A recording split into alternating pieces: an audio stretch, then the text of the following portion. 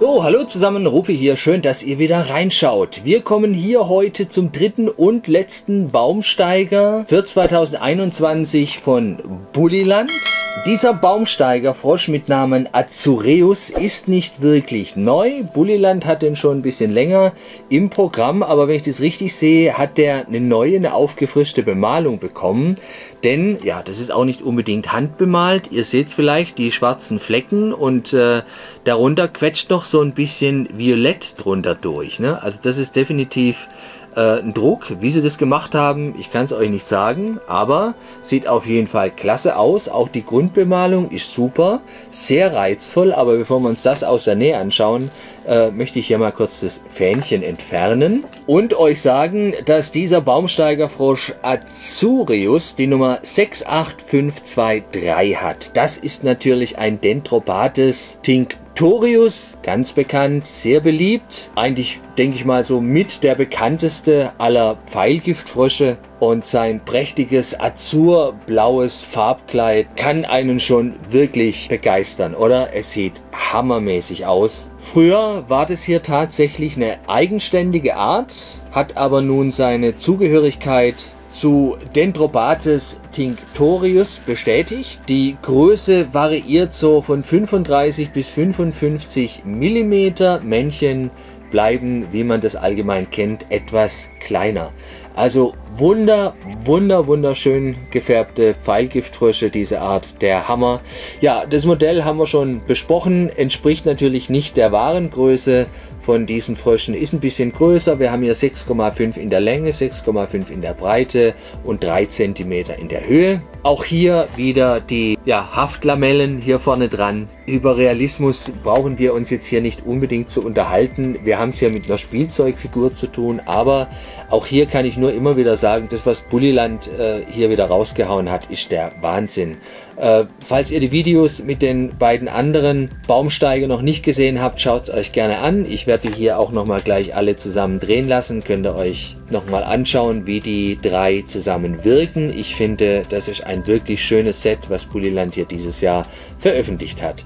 Ja, die Untergrundfarbe, wir haben hier ein schönes, kräftiges, helles Blau übergehend in ein Violett und wir haben hier auch schöne Farbverläufe. Ihr seht schon, die Schenkel haben sie in diesem Violett bemalt, ein bisschen auf die Füße drauf, hier hinten rum, hier auch rüber.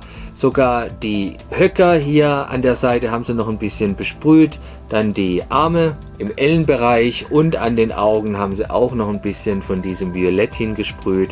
Das sieht nett aus. Die Augen haben sie komplett schwarz gemacht. Man sieht die Nasenlöcher. Hier ist der Druck ein bisschen daneben gegangen. Ihr seht schon, ein bisschen versetzt. Und an diesen Punkten könnt ihr sehen, wie ich es eben schon sagte, hat so einen violettfarbenen Rand und daran sieht man auch, dass das bedruckt wurde. So genau kannst du das Ding nicht von Hand bemalen. Die Airbrush-Arbeit, die Grundfarbe haben sie wahrscheinlich mit Airbrush von Hand drauf gesprüht. Das ist okay, aber das ganze Muster hier, das wurde definitiv aufgedruckt. Ja. Der Glanz ist hier vielleicht auch ein bisschen zu gummimäßig, also nicht ganz so natürlich, aber nochmal, wir haben es hier mit Spielzeugfiguren zu tun. Das ganze Material, wie schon gesagt, aus Gummi, ganz weich wie die anderen Frösche auch. Und sie sehen wirklich super aus, wenn man die alle nebeneinander stellt. Also das ist schon ein klasse Trio. Ich stelle es mal richtig hin in die Mitte. Dann kann ich sie auch noch ein bisschen drehen. Ich werde unseren Acereus auch noch gleich äh, in 360 Grad filmen näher. Dann könnt ihr es euch nochmal in aller Ruhe anschauen. Aber seht schon, die kommen echt klasse.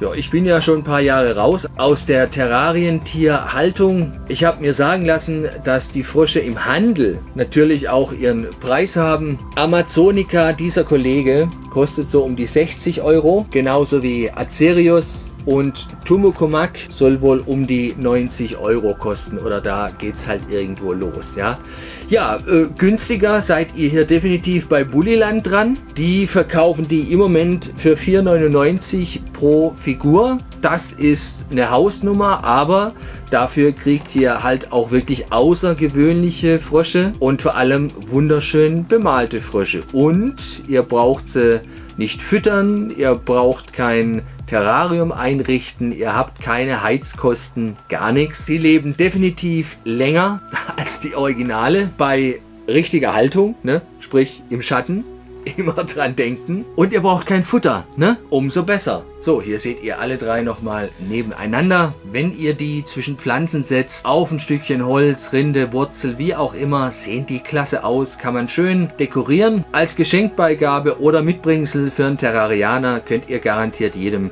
eine Freude machen, falls ihr euch für diese Tiere interessiert, auch wenn sie jetzt nicht ganz der Realität entsprechen. Ich finde es klasse, ich kann es nur noch mal sagen, schön, dass sowas hier für 2021 herausgebracht wurde. Ich werde jetzt hier Azureus nochmal 360 Grad drehen lassen und damit bedanke ich mich bei euch fürs Reinschauen. Wir sehen uns wieder im nächsten Video. Bis dahin, ciao, tschüsschen, euer Rupi. Yay!